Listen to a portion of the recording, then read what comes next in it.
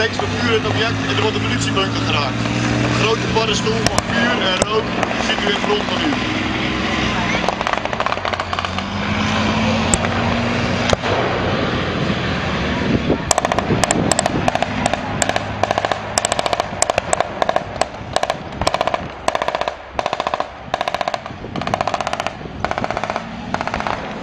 Twee tanks van twee vol zullen nu over de door, doorbraken.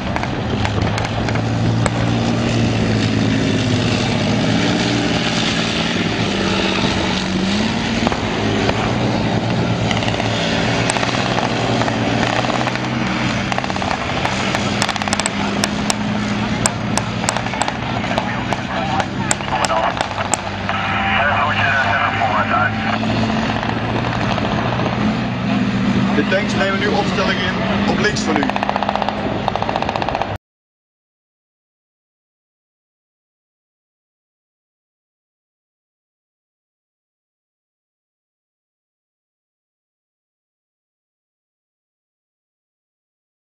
Hallo, we zijn hier voor het eh, interview van de Landmachtdagen. En eh, kunt u kort uzelf introduceren? Nou, ik eh, ben de corporaal 1 Smilde. Ik ben eh, werkzaam bij herstelpeloton van het 42 eh, tankbataljon. En mijn functie daar is monteur Leopard Westtank, zoals hij hier staat. Dit is een Leopard 2, maar dan helemaal gestript speciaal voor deze open dag. Om mensen te kunnen laten zien wat er allemaal op zit.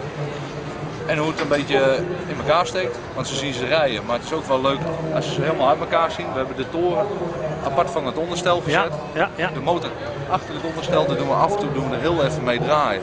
ja. Zodat mensen daar ook. Daar zijn, ben ik eh,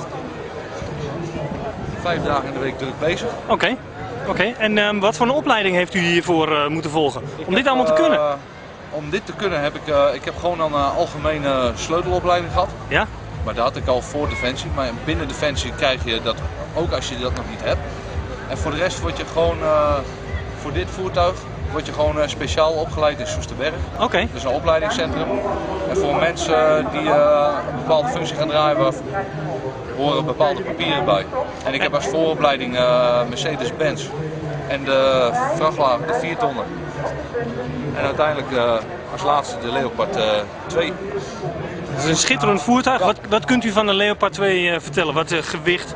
Er zit een eh, gigantische motor in. Ja, de motor die erin zit is een, een V12. Een, een benzine of een Het dieselmotor? is een dieselmotor. Met Met een, een inhoud van, als ik me niet vergis, ongeveer 47 liter. dus een 47 liter Ja. Met de 1000 weet ik hoeveel pk? Ja, ik heb eh, 1500 pk. Ja?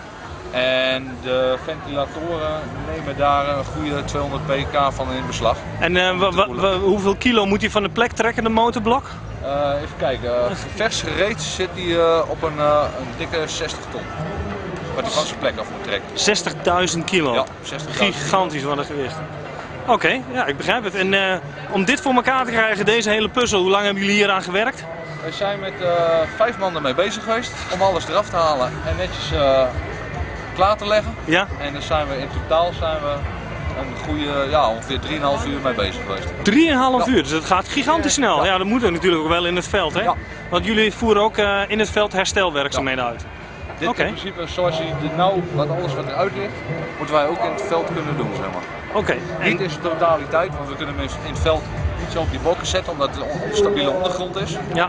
Maar alles wat er nou uit ligt, kan eventueel eraf ge- vervangen worden. Oké, mag ik u eh, bedanken voor het interview? Ja, geen. En eh, nou, terug te zien op YouTube. En Ja. eh, nogmaals bedankt en een hele goede verdere landmachtdagen nog. Dat gaat